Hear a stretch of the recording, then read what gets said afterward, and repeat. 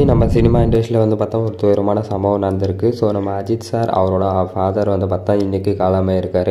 So அவரோட name வந்து பார்த்தா சுப்பிரமணியம். ஸோ அவர் வந்து பார்த்தோன்னா ஸோ எண்பத்தி நாலு வயசு இருக்குது அப்படின்னு சொல்லிட்டு சொல்லியிருந்தாங்க. ஸோ ஃபோர் இயர்ஸாக பக்கவாத நோயால் வந்து பார்த்தா பாதிக்கப்பட்டிருந்தார். ஸோ அதுக்கான ஒரு ஸ்டேட்மெண்ட்டும் வந்து பார்த்தா நம்ம ஏகே சார் அவரோட மேனேஜர் சுரேஷ் சந்திர வந்து பார்த்தா ஸோ அதை ஷேர் பண்ணியிருக்காரு.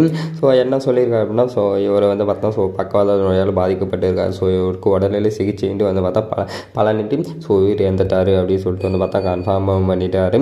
ஸோ ஏகே சார் அவர் கூட வந்து பார்த்தா ஸோ ரெண்டு பிரதர்ஸ் இருக்காங்க. ஸோ மொத்தமே மூணு பேர். ஸோ ஏகே சார் பொறுத்த வரைக்கும் வந்து பார்த்தா ஸோ சினிமா இண்டஸ்ட்ரிக்கு வரத்துக்கு வந்து பார்த்தோன்னா ஸோ அவர் ரொம்ப கஷ்டப்பட்டு தான் சினிமாக்குள்ளேயே வந்தாருங்க வச்சுங்களா ஏன்னா பெரிய ஒரு சினிமா பேக்ரவுண்ட் இல்லாத ஒரு ஆள்.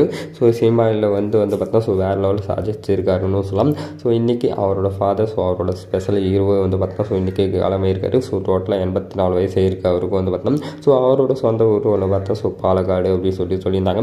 ஸோ பார்ப்போம். ஏகே சாருக்கு என்ன நிறைய சினிமா வட்டாரங்கள் சரி எல்லாருமே வந்து பார்த்தோம். ஸோ சப்போர்ட் பண்ணி ஆறுதலில் சொல்லிட்டு இருக்காங்க. ஸோ தளபதி நேரில் போய் வந்து பார்த்தோம். ஸோ அதில் அவரோட இருக்கால் வந்து பார்த்தா தெரிவிச்சுக்கிறாரு. ஸோ அதேமாதிரி நம்ம ஸ்டாலினும் சொல்லியிருக்காரு. ஸோ கமல் சார் அவரோட ஸ்டேட்மெண்ட்டும் சொல்லியிருக்காங்க.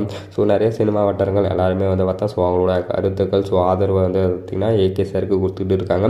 ஸோ அந்த வகையில் நம்ம சேனல் சார்பாக வந்து பார்த்தா ஸோ ஒரு இருக்கல் தெரிவிச்சிடலாம். சரிங்களா ஸோ வேறு ஒரு வீடியோவில் வேறு கன்சல்ட் செஞ்சுப்போம் ஹேவ் ஏ நெக்ஸ்ட் டே